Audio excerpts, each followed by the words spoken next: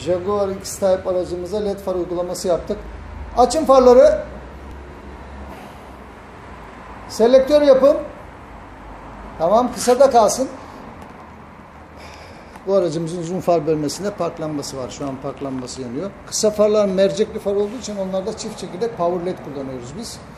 Ee, önü açık farda normal kullanıyoruz. Yapın selektör. Tamam.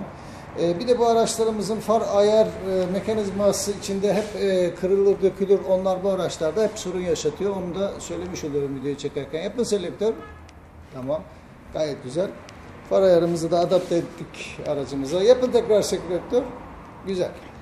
Far ayar makinesini hep söylüyorum. Far ayar makinesi olmayan bir iş yerinde aracınıza led far taktırmayın. Ufuk çizgisini görmek çok önemli. Önünüzü aydınlatması ve e, efendim daha iyi e, görüş alması ve önünüzdeki insanları rahatsız etmemek için bu çok önemli. Evet Jaguar X-Type aracımıza led far uygulaması yaptık. Tekrar yapın selektör. Tamam. Gayet güzel. Güle güle kullanın.